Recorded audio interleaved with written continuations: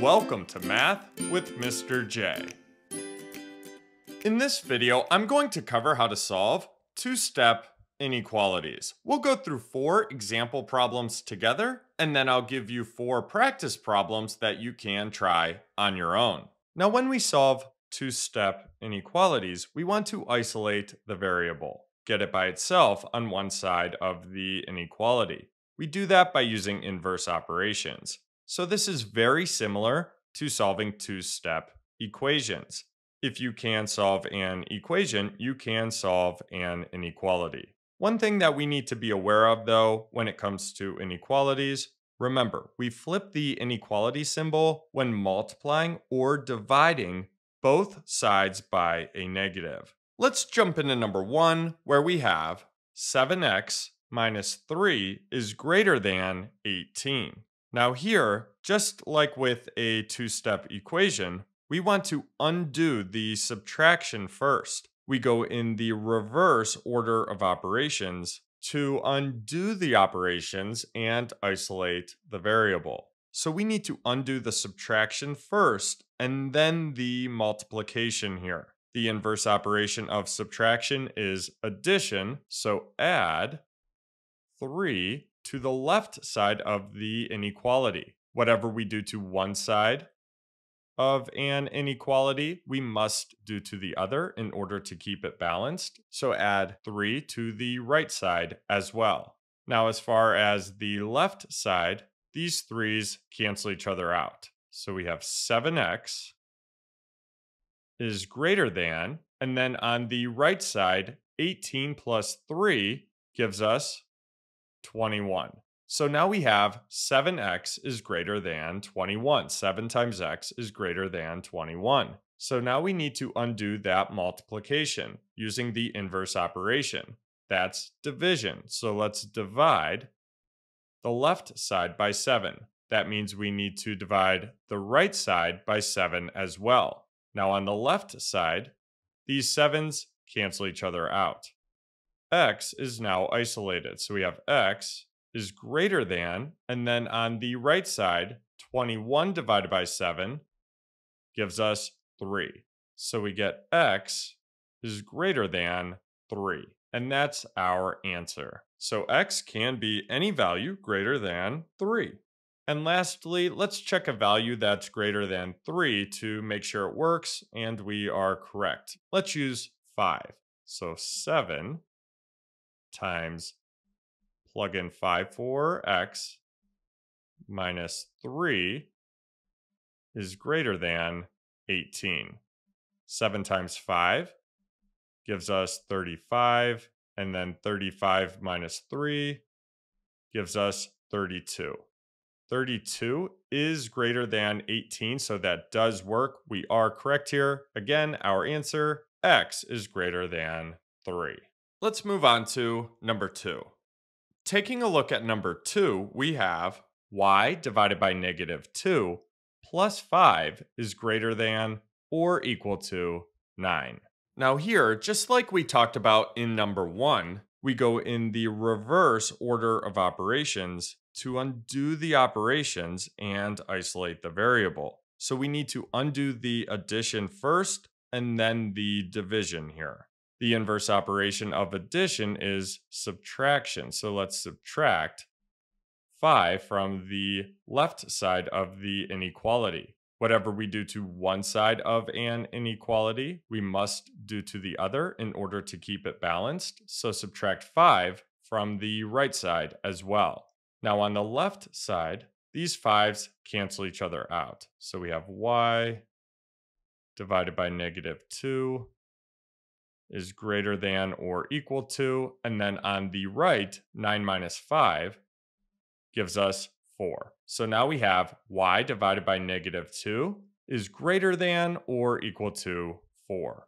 Now, since y is being divided by negative 2, we need to undo that division using the inverse operation. That's multiplication. So let's multiply the left side by negative 2.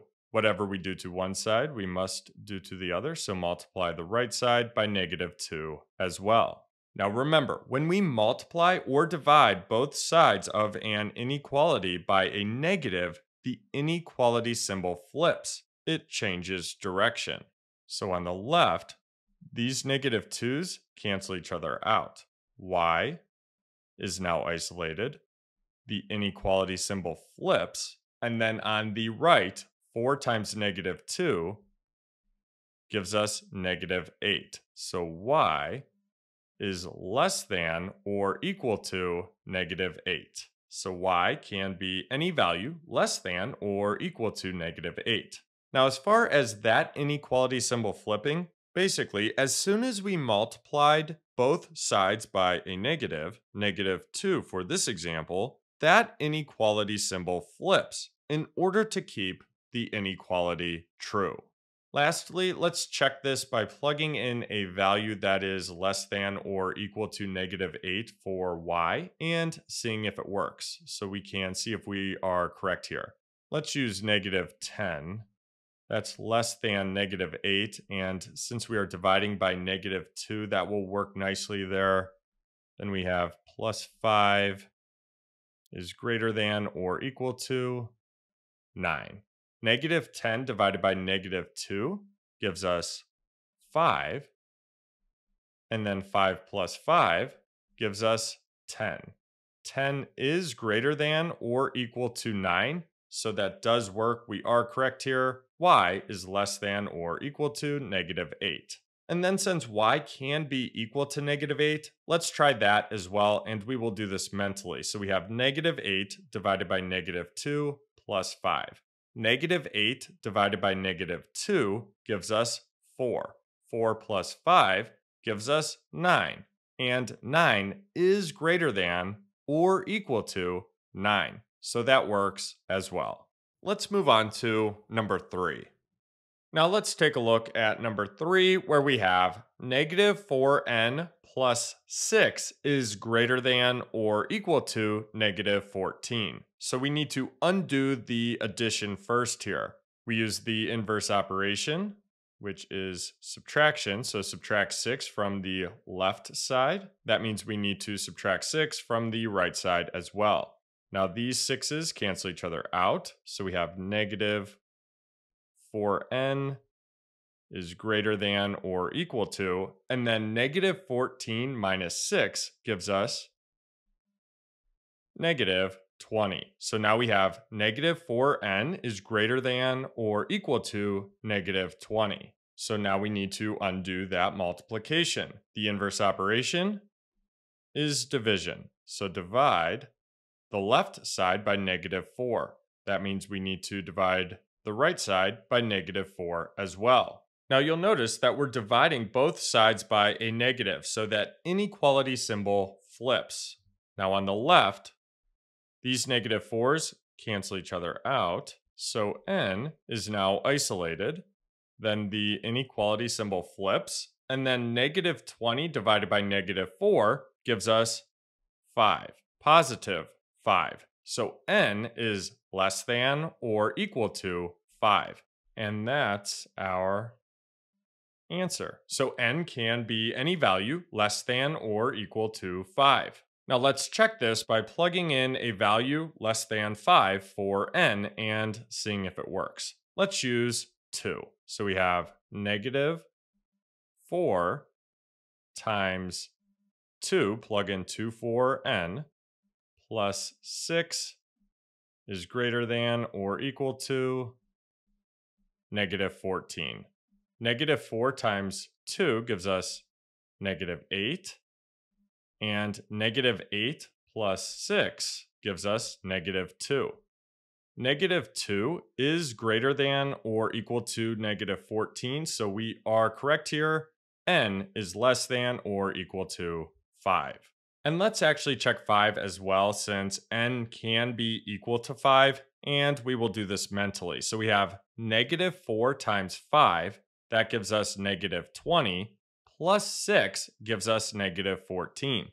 And negative 14 is greater than or equal to negative 14. So that works as well. Let's move on to number 4.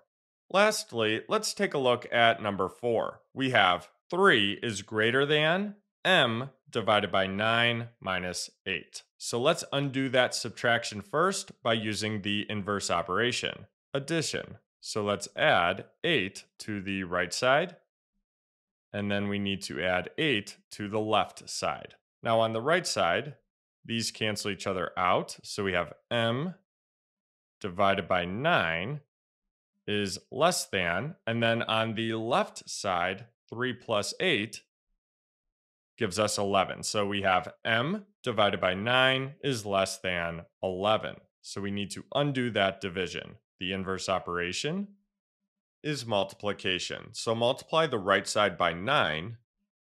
That means we need to multiply the left side by 9 as well. These 9s cancel each other out. m is now isolated. So m is less than, and then on the left, 11 times 9 gives us 99. So m is less than 99. And remember, we can always rewrite an inequality with the variable coming first. It can make an inequality easier to work with. And all we need to do is write the variable first and then make sure the inequality symbol is going the correct way. So it needs to open up towards 99 here. m needs to remain less than 99. So m is less than 99. Either way works there, but keep in mind you can rewrite it with the variable coming first. Now let's plug in a value for m that is less than 99 to see if it works. Let's use 90. Since we are dividing, that will work nicely with that 9. And 90 is less than 99. So 90 divided by 9 minus 8. 90 divided by 9 gives us 10. 10 minus 8 gives us 2.